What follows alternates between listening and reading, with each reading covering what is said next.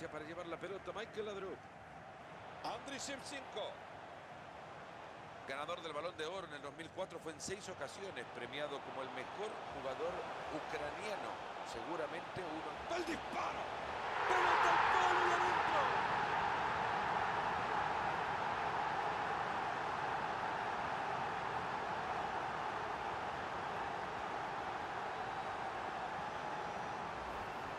Y ahí está Marito y poner al negrito Cosia, palo y adentro.